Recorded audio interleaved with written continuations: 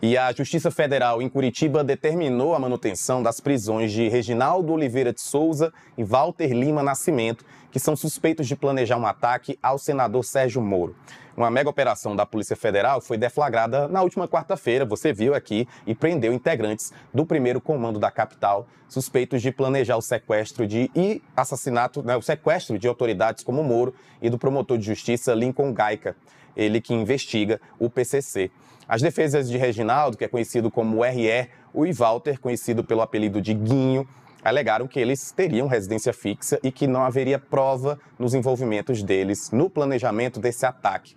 No entanto, para a juíza federal substituta Gabriela Hartz, a manutenção das prisões é indispensável para as investigações, dada a proeminência e relevância dos investigados dentro do PCC.